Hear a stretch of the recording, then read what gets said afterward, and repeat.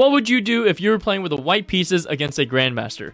Black's got an extra rook, they got a pass pawn that's about to promote, so of course, you just give her perpetual, right? You lock in the perpetual, you take the draw. But Duda, no, he goes for h6, and all of a sudden he goes from a completely drawn game to minus 55. And this basically allows black to kind of maneuver their pieces, win a pawn, and then go and stop that a pawn from ever promoting.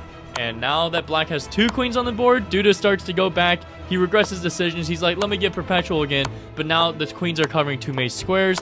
And in this position, several moves later, Duda eventually resigns.